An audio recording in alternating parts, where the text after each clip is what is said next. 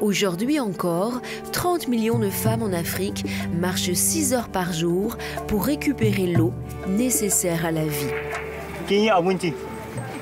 Elle n'a pas mangé. Elle n'a pas mangé. Elle n'a pas mangé, il a passé 19 heures pour avoir deux seaux d'eau. Et de quelle qualité Pour avoir l'eau, c'est cruel quand même. Le manque d'eau potable tue encore 4000 enfants chaque jour. Voilà pourquoi est née l'association Eau Vive en 1978. Sa mission prioritaire, permettre aux populations africaines d'accéder à l'eau potable et à l'assainissement. Sa grande force, travailler main dans la main avec les élus locaux qui ne savent pas vers qui se tourner alors qu'ils sont en charge de la gestion de l'eau sur leur commune. Ok, vous avez un problème d'eau, on a bien cerné le problème, mais vous, vous êtes prêt à faire quoi là? Les gens ils vont dire, ah ben tiens, nous, on peut faire ci, on peut creuser des, tranchées, on peut aussi dégager un peu dans le budget de la commune, etc. etc. Maintenant, il y a une autre étape qui est celle-là de passer à la réalisation. Et ça, c'est encore là qu'au Vive euh, apporte euh, donc son appui. Résultat, 30 ans après sa création, Eau Vive a permis à plus de 2 millions d'Africains d'avoir durablement accès à l'eau potable et à l'assainissement.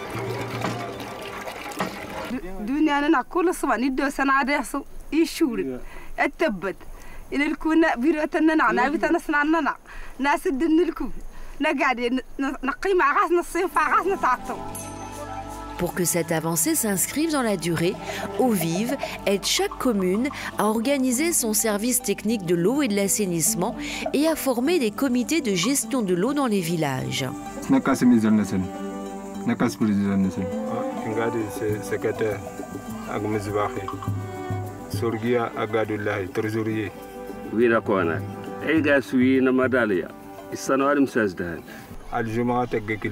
mécanicien